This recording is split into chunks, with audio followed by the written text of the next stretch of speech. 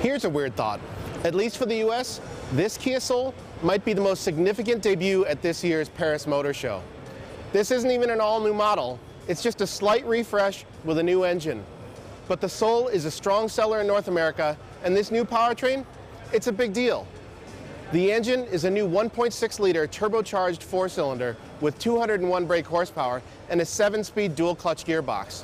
The Soul, it's always been a decent driving city car that's stylish and a great value, but it's always felt like it could use a little more power. Today's strongest model has 164 horses, so this new Soul Turbo, it's got about 20% more oomph.